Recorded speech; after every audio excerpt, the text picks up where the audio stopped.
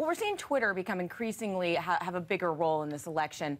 Um, a couple months ago, they launched um, the ability to uh, donate um, through the uh, through Twitter um, from the uh, to the uh, to the different candidates. Now, three fourths of the candidates are using that at, the, at this point, and next week at the Democratic debate, they're going to be taking questions from Twitter users, um, so much like you've seen with Facebook. So that'll be interesting to see, uh, you know, what the Twitter users want to know from the candidates.